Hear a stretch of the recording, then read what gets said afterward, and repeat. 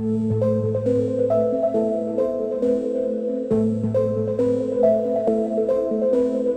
दोस्तों, ये तो आप सब जानते होंगे कि चाहे वो मोटरसाइकिल हो या बस हो, ट्रक हो या फिर किसी तरह की गाड़ी हो, इन्हें चालू यानी कि स्टार्ट कराने के लिए चाबी की ज़रूरत पड़ती है। लेकिन क्या आपने कभी ये सोचा है कि क्या हवाई जहाज़ भी चाबी से स्टार्ट होता है? या फिर क्या आपने कभी ये सोचा है कि जैसे नॉर्मल सभी गाड़ियों में हॉर्न होता है, वैसे ही क्या हवाई जहाज़ में भी हॉर्न होता है?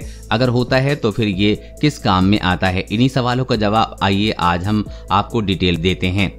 क्या हवाई जहाज़ भी चाबी से स्टार्ट होता है? दोस्तों, सबसे पहले हम बात करेंगे पैसेंजर हवाई जहाज़ के बारे में। तो मैं आपको जानकारी देने के लिए बता दूँ कि पैसेंजर हवाई जहाज़ में स्टार्ट करने के लिए किसी भी प्रकार की कोई भी चाबी की ज़रूरत नहीं पड़ती है, बल्कि ये सिर्फ़ कुछ बटन से ही स्टार्ट हो जाता है।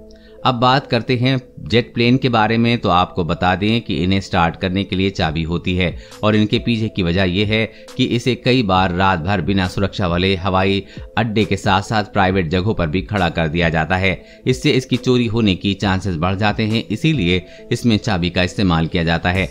अब हम जानते हैं कि क्या प्राइवेट प्लेन में भी चाबी लगती है। तो मैं आप सबको बता दूँ कि प्राइवेट प्लेन में भी चाबी लगती है, लेकिन इंजन स्टार्ट करने के लिए नहीं, बल्कि दरवाजे और बाहरी कंपार्टमेंट को लॉक करने के लिए चाबी का इस्तेमाल किया जाता है। क्योंकि कई बार ऐसा हुआ है कि प्राइवेट प्लेन के अंदर रखी हुई महँगी चीज़ें भी चोरी हो जाती हैं, इसलिए इसके दरवाजे लॉक करने के लिए चाबी का इस्तेमाल किया जाता है। क्या हवाई जहाज़ में भी हॉर्न होता है? दोस्तों, जैसे आप बाकी सभी गाड़ियों में हॉर्न देखते हैं, वैसे ही हवाई जहाज़ में भी हॉर्न होता है। अब आप सोच रहे होंगे कि ये हॉर्न आखिर कब काम आता है और बहुत लोगों को ये लगता है कि आसमान में पंछियों को भगाने में हवाई जहाज़ के हॉर्न को बजाया जाता है, लेकिन ये सच नहीं है।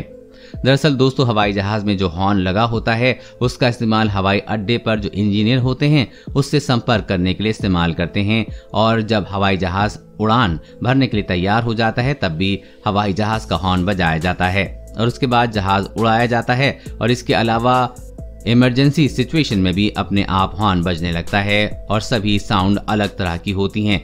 इसमें इंजीनियर समझ जाते हैं कि जहाज़ में क्या गड़बड़ी है।